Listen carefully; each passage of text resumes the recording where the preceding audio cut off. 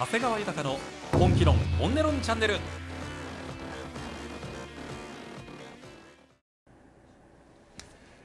こんにちは。長谷川豊です、えーちょっとね大阪の話題ばっかりしてしまって申し訳ないんですけどもう一本だけもう一本だけ大阪の話題させてください。日本全国の皆さんごめんなさい。あの別の話題も後々ちゃんとやりますんで。大阪のねこれでも大阪だけじゃないんですけどねちょっとこれ皆さん一緒に考えましょう。こちら。大阪公明党どうしようね。これどうしましょうね。皆さんどうしましょう。これは参っちゃいましたね。えっとですね。大阪の公明党がですね手のひらをコロンとコロンと変えてきました。はい。毎日新聞です。大阪都構想ゼロベースで見直し公明反対姿勢交代っていうですね。こう公明党大阪市議団がですね今までもう大阪都構想反対の急先鋒だったわけじゃないですか。もう自分たちの議員バッジ守ろうとしてですねもう必死になっても徹底的に抵抗し続けたわけですよね。でこういう念書をちゃんと書いてるわけですね。これ見てください。もう実物のコピーですよねこれ。合意書。公明党と大阪維新の会は次の通り合意した。ね。大阪都構想のね協議会について慎重かつ丁寧な議論を尽くすことを前提に今任期中で住民投票を実施する、ね、これに対してサインしてますよ林さんと。うちの今井豊さんですよ。大阪維新の会の。幹事長です。今井豊さん。これ見てください。間違いなくこれ豊さんの字ですよこれ。誰がどう見ても今井豊さんの字ですこれ。本人です。ねえこれちゃんと平成29年4月17日こうやってサインもしてるというにもかかわらずですよ丁寧な議論を尽くすことを前提にっていう書いてあることを、まあ、上げつらってですね何言ってやってきたかというと丁寧な議論しましょうって言ったらその議論の場をボイコットし始めるわけですよ。で挙句の果てにですねもうちゃんちゃらおかしいのが見てください公明党大阪府本部幹事長大阪維新の会幹事長要は大阪府議団の林さんと大阪府議団の今井さん。この2人で合意してんのに。すいません。これはあの府議の任期満了ではなくて知事と市長の要は今年11月の任期満了のことだと思ってました。っていうですね。へそがもう茶を沸かすレベルのですね。もう大嘘をつき始めましてですね。府議がサインしてんだから府議市議の任期に決まってんだろって話じゃないですかこれ逆にどういう解釈が逆にあるんだよって話です。もうね公明党大阪公明党さんむちゃくちゃだったわけですよ。でも大阪の皆さんが激怒するだけ激怒してまああの、まあ、維新の圧勝劇ですよ。で圧勝劇となったら 手のひらペロッとペロッと切り返してきました。これはね松井さんと吉村さんどう対応するんでしょうね結論から言うともう大阪府議団大阪維新の会の府議団そして市議団そして大阪維新を応援した大阪府民と大阪市民たちはっきりと大阪公明にめちゃめちゃに怒ってます。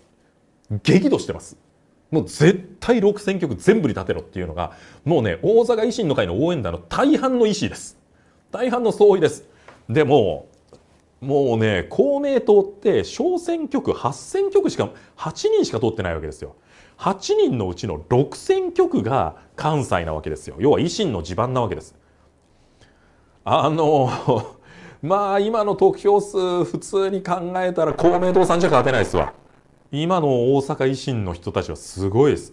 僕ら日本維新の会は国政ですけど見てて羨ましいぐらいやっぱ大阪維新メタメタに強いですもん。多分絶対太刀打ちできないです。まあそれを受けてですね、えー、まあもう相変わらずの長いものに巻かれるくんですよ。維新がバーって伸びてきたら維新にすり寄る。都民ファースト小池百合子がバーって伸びてきたら小池百合子にすり寄る。国政で自民が強かったら自民にすり寄る。公明党の皆さんはね党勢をねあのこれからは与党にすり寄るっていうね一言にも変えていただいた方が分かりやすいんじゃないかなと思うんですけど。いやこれねめっちゃ難しいですよ。というのも維新のファン層が怒ってることは事実ですし気持ちは重々にわかるんですがとはいえ公明党さんと創価学会さんはやっぱ強いです。めちゃんこ強いです。そことあえてガチ喧嘩することが得策なのか僕ら国政維新日本維新の会からしてみると当たり前ですけど喧嘩してほしいですもう喧嘩してくれて6選挙区に立つとするじゃないですかもう衆議院の議席多分下手したら13から15増えますよ選挙プランナーの松田薫さんという人は15議席増えるっつって衆議院だけで。あの予想を出してましたよね新聞でね、うん、そうだと思いますよ。松田さんむちゃくちゃ正確な予想していくんで15議席増えると思いますね。あの大半この間負けてたギリギリのところ全部勝っちゃうんで、まあ、15議席ぐらい多分増えるんですよ。国政維新からしてみると政党交付金もめちゃめちゃ増えるしやってほしいんですよ喧嘩。喧嘩してほしいんだけどどうなんでしょうね。うん。どうなんでしょうね。今回はねやっぱ勝ちすぎてるところもあるんで松井さん吉村さんがどう判断するのかっていうのがねめっちゃ見ものですわ。両方納得できます。両方腹立つし両方納得できますわ。公明党を許すにしても許さないにしても。松井さんは多分すり寄ってきたから許そうかって言いそうですし吉村さんはいやそれじゃダメでしょって言いそうですしちょっとしばらく注視してみないとですね、まあ、これの動きが起きるのは多分7月8月とかそれぐらいになると思うので参院選の多分後ですよ。うん。ただ参院選の後ぐらい大阪の方で大阪都構想に向けての動きっていうのがぐりっと動いてくるんでもう手のひら返しで日和見政党で何だって怒りたくなる気持ちも分かるけどとはいえある程度の実力があるしという公明党をどうするのか。大阪維新の会のファンの皆さんそして有権者の皆さんは一体どちら派でしょうか？許す派でしょうか？許さない派でしょうか？本当に大阪以外の地域に住んでる皆さんごめんなさい。全然関係ない話ばっかりしました。失礼いたしました。次からちゃんとやります。長谷川豊の本気論本音論チャンネル。私長谷川豊が本気で本音でズバッと世相に切り込みます。お楽しみに。